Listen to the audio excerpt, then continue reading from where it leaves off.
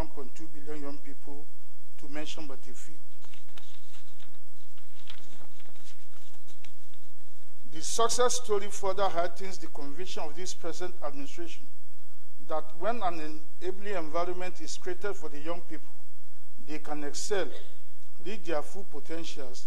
and become major players in the socio-political and economic development of this nation. This most modest achievement is one of the reasons why the ministry under the leadership of Barrister Solomon Dalung is now more than ever before committed to continue working with the National Assembly in advocating accelerated social inclusion and effective participation of young men and women in the